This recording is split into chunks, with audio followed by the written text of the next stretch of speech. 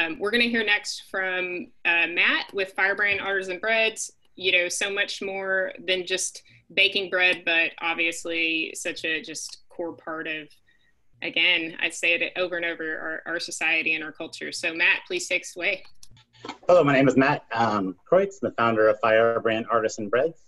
Uh, I've been working in the food service industry since I was 14 years old. Um, it's all I've ever done. It's the people that I love in the industry that I really care about. And in 2008, we started Firebrand as a wholesale and um, wholesale bakery and retail cafe operating in uh, uptown Oakland. We make wood-fired um, breads and pastries with a mission to create a more just and equitable workplace as well as thriving communities through the craft of baking. Um, we focus at Firebrand on hiring people who are formerly homeless, formerly incarcerated, otherwise have barriers to employment. Uh, we have 80 people at Firebrand, all of whom are still currently employed throughout this um, crisis at full time. 80% um, of our employees are people of color, and over 75% of our um, leadership team are women and or um, people of color. Um, state of California, uh, if you're released from prison today, you have an almost 70% chance of going back into prison within three years. That percentage drops by 20% if you're paired with a good job um, 90 days post-release. So Firebrand's created a network of pre and post-release service agencies um, to work with in order to source employees as quickly as we can post-release and get them into a great job. Firebrand offers um, a living wage. We offer um, growth ladders as well as professional development opportunities and great benefits in order to allow people to be at Firebrand for a long time and build um, deeper community ties and keep them away from the criminal justice system uh, long term. 20% of what we do is through our retail um, bakery cafe in Uptown, and 80% of what we do is wholesale. We have almost 200 accounts that we self-distribute um, from San Rafael down to Santa Cruz, uh, mainly in four different categories, um, cafes, food service, grocery, and restaurants.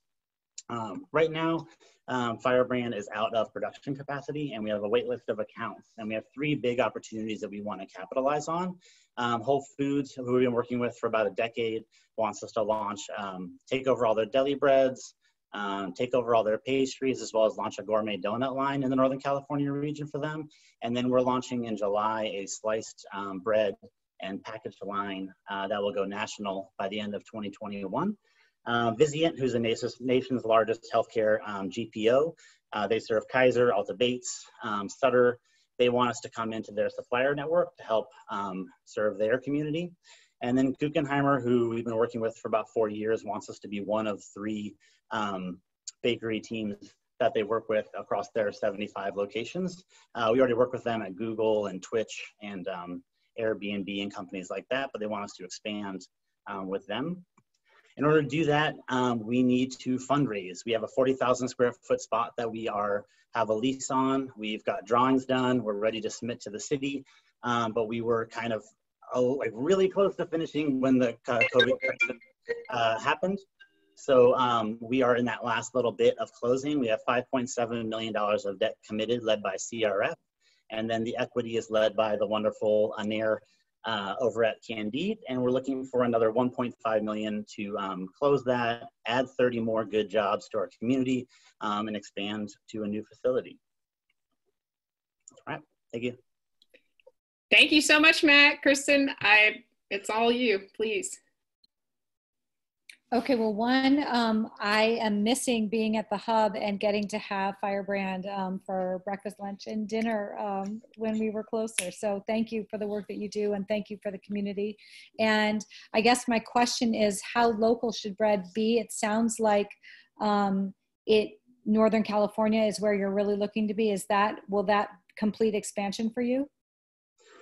Yeah, so we're not going to be I'm not very interested in like opening like satellite kitchens or anything like that. I live in Oakland, uh, about a mile and a half from the bakery, and we're looking to do as much as we can in the Bay Area. We want to focus on creating jobs in the Bay Area.